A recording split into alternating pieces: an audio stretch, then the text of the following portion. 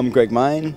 I'm crane driver here at Hutchison's. I'm Craig Hancock. I worked actually Thursday on the ship that's out there at the moment, driving the crane. I'm one of the survivors. I've actually apparently got a job to go back to there, but uh, a lot of good people have been sacked. Went home that day, had dinner, went to bed, got woken up by a friend saying check your email. It was midnight by that stage. Read the email and saying don't come back, you're basically sacked. A midnight text message sacked 100 workers. This dispute is about the age old fight with workers and capital. On August 7, workers at Hutchison ports in Sydney and Brisbane received their marching orders by text and email, informing them that their positions had been made redundant. I think it has major ramifications for everybody in Australia. If they succeed to do what they're trying to do here, be nothing to stop them going across the road to the other companies and then on to other industries. According to the Maritime Union of Australia, the MUA, Hutchinson's plan is to fully automate the port. Getting rid of these workers is the first step in that process. If an employer can do this, whereby they can just remove a workforce just to deunionise or take away the rights of those workers, well, that's just unacceptable, and we'll fight that with everything we've got. Community gatherings were established at Port Botany in Sydney and Fisherman's Island in Brisbane in support of the sacked workers. The only people in this company since they've been in Australia that has done their job properly is um, the wharfies, the crane drivers, the straddle drivers, the Ross operators. We're the only ones who's actually done our job properly. The management has been that The workers have worked hard and gone over and above to get this place operating. They've all put their heart and soul into making it a success. And the new management have sacked the original management who knew how to operate this terminal and have taken over and um, run it into the ground. The bosses are on the offensive against penalty rates, the minimum wage, and the right to organise.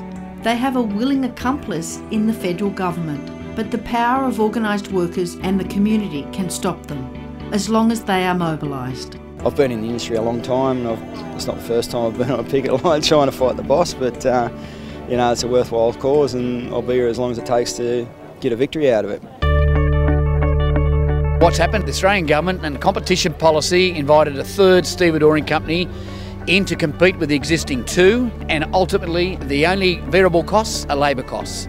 So they've been trying to reduce their labour costs. My name's Alan. I'm a wharfie here in Sydney. I have been so for about 35 years. To be treated the way that these workers have been treated is appalling. To be sacked in the way they've been sacked by text with no consultation, no discussion, no negotiation. I think it's just shocking and I can't believe the humanity of the company to be able to do these sorts of things.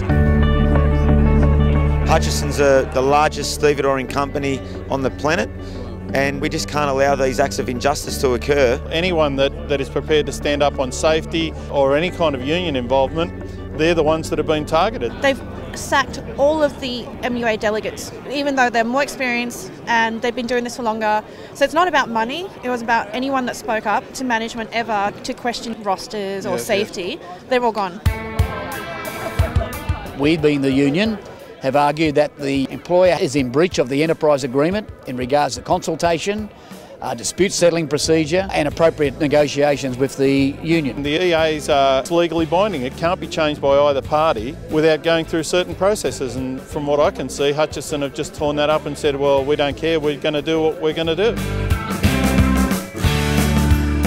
We've got a great deal of hope that the federal court is going to recognise that the enterprise agreement was negotiated in good faith and give us the outcome that we deserve. Uh, if they don't, then we'll take the fight on. On August 13, the federal court ruled in favour of the MUA. The ruling said Hutchison had failed to properly consult with its workforce and had ignored a dispute resolution clause in its enterprise bargaining agreement. The court will now hear the union's full case against the sackings on August 31. Now, round two of the longest struggle to maintain jobs at Hutchinson begins.